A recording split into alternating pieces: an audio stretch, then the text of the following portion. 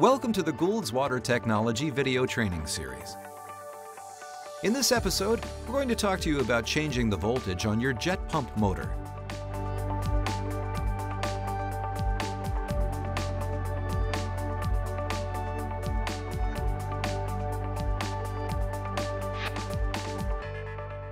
All motors have a sticker near the pressure switch that identifies the pre-wired voltage.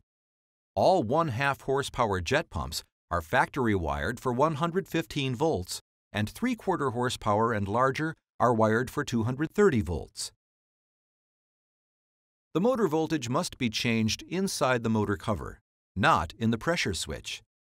All motors have a wiring diagram on the motor label, and it can also be found in the operations manual. The most important step is to first turn off the power before working on the motor. Make sure the breaker or disconnect is off before entering the motor cover. Check power supply voltage and select the proper motor voltage.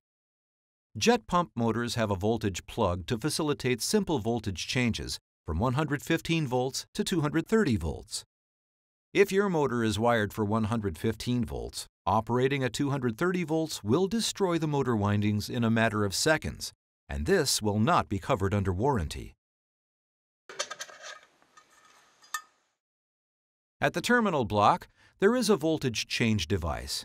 Depending on the motor manufacturer, it is either a switch or a plug. I will demonstrate both.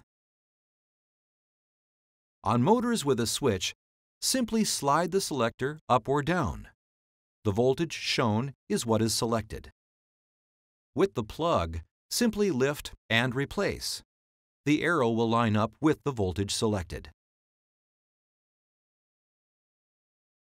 Once you have correctly changed the voltage, replace the cover and retighten the screws.